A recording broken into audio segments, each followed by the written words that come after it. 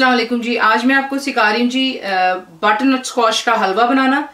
ये भी जो है पम्पकिन का ही एक ज़ात का होता है तो मुझे पम्पकिन नहीं मिला था तो मैं यहाँ पर बटर नट स्कॉश इस्तेमाल कर रही हूँ। आपको दिखाने के लिए मैंने अभी एक नहीं छीला है, एक मैंने छील करके आपको दिखा दी है। सो तकरीबन आपने इतना लेना है कि ये छिलने के बाद इसका वज़न जो है कम से कम दो किलो होना चाहिए टू के जी आफ्टर आपने इसको छील लिया है। तो एक अभी छीलने वाला, एक कर दिया चीनी आपको चाहिए होगी तकरीबन वन कप भरकर चाहिए होगी, अगर हमें कम लगेगी, हम और ऐड कर लेंगे। वन कप फ़िलहाल भरकर हमें चाहिए। इलायची powder one teaspoon heapful that's green cardamom powder और साथ ही नट्स आप अपनी मर्ज़ी के डाल सकते हैं। मैं वॉलनट्स का इस्तेमाल कर रही हूँ और बादाम, यानी आमंड्स का।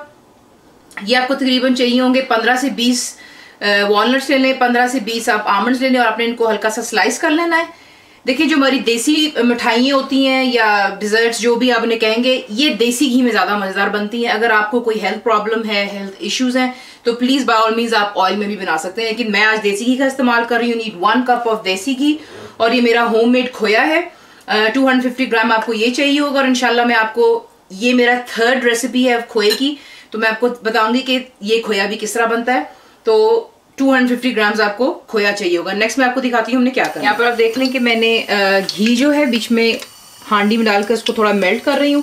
साथ ही आप यहाँ पर देख लें कि मैंने बटन स्कॉच जो है, इसको मैंने ग्रेट कर लिया हुआ है।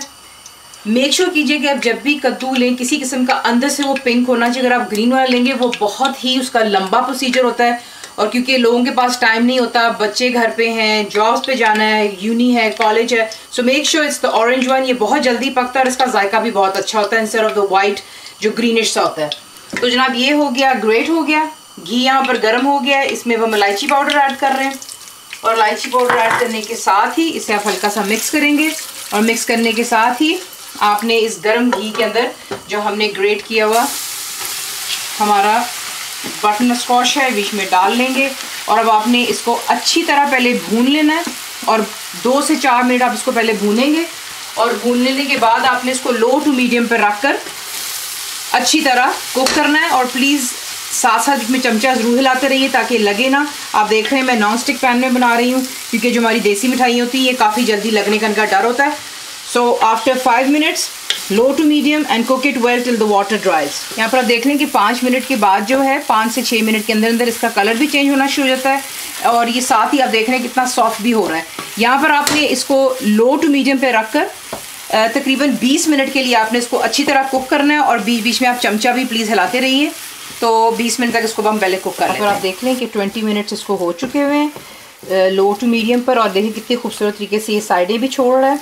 हलवा जो है आपका, इसमें अब आपने क्या करना है कि यहाँ पर हम ऐड करेंगे इसमें शुगर और आप देखेंगे, जैसे ही इसमें आप शुगर ऐड करेंगे इट विल लीव लिक्विड और हमने इसे अभी भी लो टू मीडियम पर ही रखेंगे और इसको तब तक कुक करेंगे जब तक कि लिक्विड जो है शुगर का भी बीच में से एब्जॉर्ब हो जाए सारा और ड्राई हो जाए। क्योंकि शुगर जो होती है, जैसे वो मेल्ट होती है तो वो पानी सा छोड़ती है। आप देख रहे हैं, दोबारा ये फिर से किस तरह सॉफ्ट हो गया यानी कि चीनी अपना पानी छोड़ रही है। दोबारा लो टू मीडियम पर रखकर आप इसको अब ज़रा पानी ड्राई होने तक कुक करें आप देख लें कि शुगर जो है इंटायरली डिजोल्व हो चुकी है और दोबारा हलवा उसी शेप में आ रहा है। ये देख लें कि साइडें कितने खूबसूरत तरीके से ये यहाँ पर छोड़ रहा है। इसी वक्त आपने जो है अपना ऐड कर लेना यहाँ पे खोया। हाथों को थोड़ा हाथों से ज़रा मसल का थोड़ा डाल लें। थोड़ा सा आप रहने दें फॉर द गार्निशिंग ये आप देख लें। और इसी तरह आप बादाम डालेंगे। थोड़े से आप रहने देंगे गार्निशिंग के लिए। अखरोट भी थोड़े से डाल लें और थोड़े से आप छोड़ दें अपनी गार्निशिंग के लिए। इसे अच्छी तरह मिक्स कर लें और मिक्स करने के बाद इसको आपने गर्मा गर्म सर्व करना है।